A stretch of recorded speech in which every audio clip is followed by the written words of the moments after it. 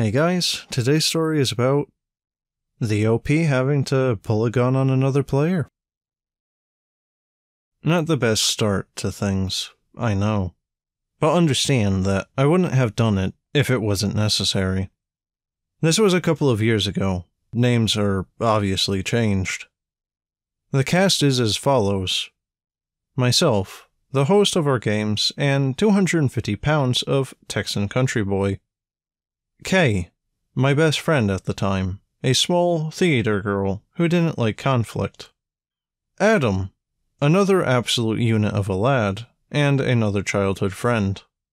And lastly, Jay, who shouldn't have had to put up with this crap. And then there was Mark. Mark was the result of my bad decisions.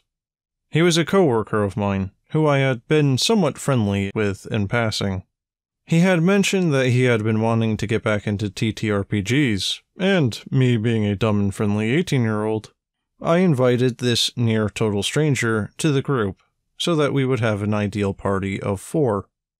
Now, Mark had a couple of behaviors that I would now call red flags, that I had decided to discard at the time.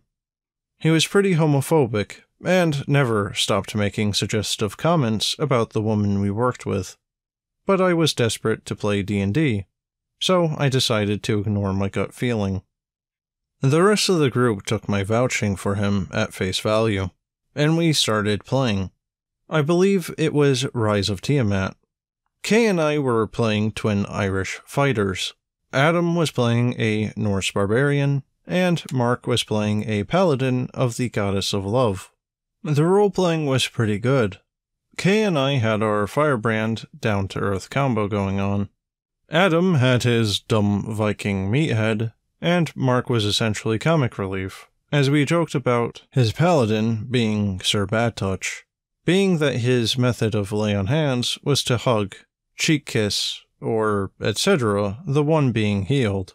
It was fine, until that bad touch crap moved to out of character.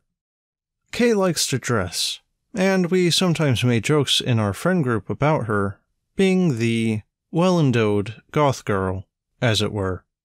The point is, I started to notice that whenever Mark thought Kay wasn't paying attention, he would be full on staring at her chest. The same thing would happen if she went up to get a drink, use the bathroom, or whatever. He would be staring at her rear. This, of course, made everyone uncomfortable, but obviously, most of all, Kay but he hadn't said or done anything as of yet. So we, being a bunch of 18 year olds, not knowing how to tell a 25 year old off, just kind of stewed about it and continued playing. That is, until about five or six sessions in.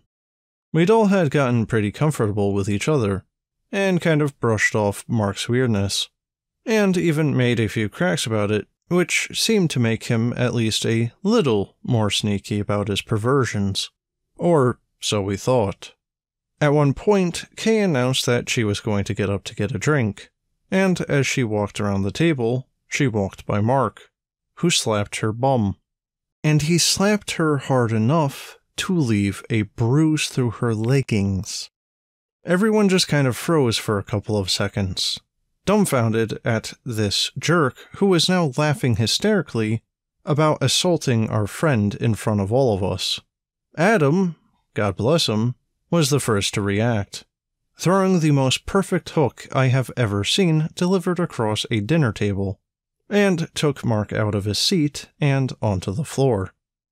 Mark came up off the floor and tried to go after Adam, and actually managing to bloody his nose. But I was the next to recover, and I put my steel toe into his crotch, again taking him to his knees.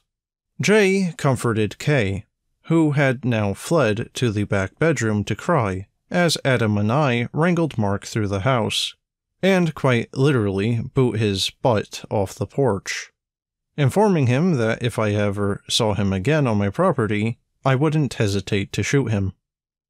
You may denigrate my friends and I for how quickly we had resorted to violence. And to that, I respond, screw this guy. He's the one that started it.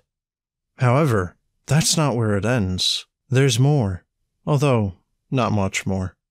We went back to Comfort Kay, and I apologized profusely, nearly in tears for having ever invited Mark in the first place.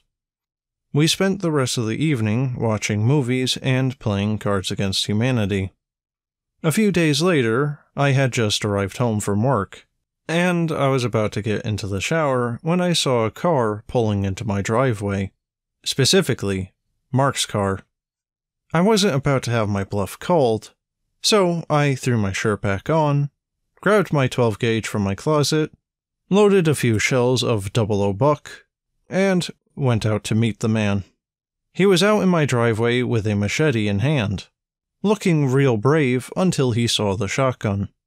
I told him politely that he had about 10 seconds to get off my property before I turned his internal organs into a new paint job.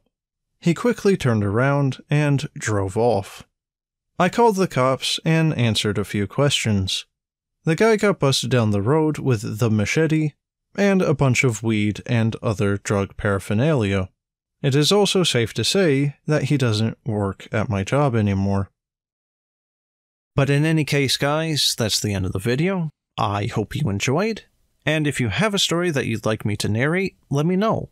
And as always, thanks for watching, and have a good one.